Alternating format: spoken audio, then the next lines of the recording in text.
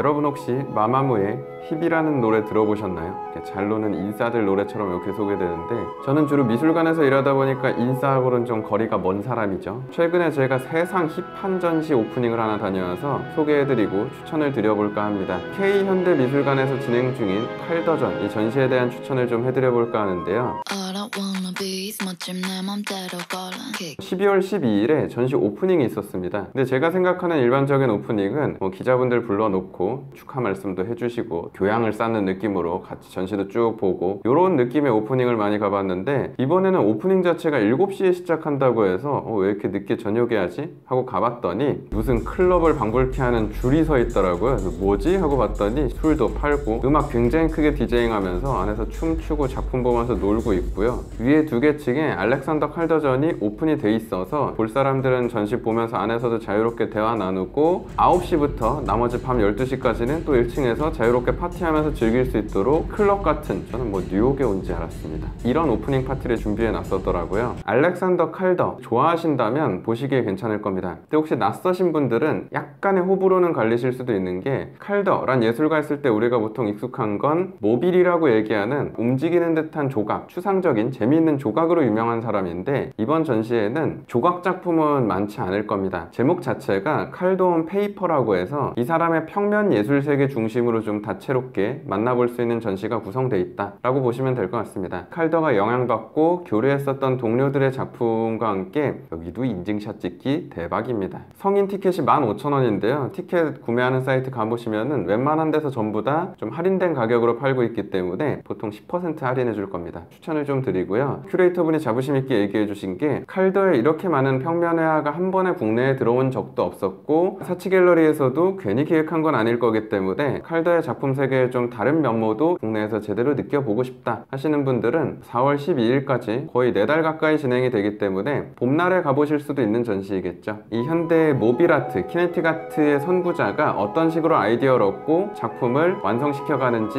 마치 그의 작업실을 몰래 훔쳐보는 것처럼 전시를 구경하고 싶다 하시는 분들은 직접 가서 한번 즐겨보시는 걸 추천드리면서 알렉산더 칼더전에 대한 전시 추천은 여기서 좀 마치도록 하겠습니다.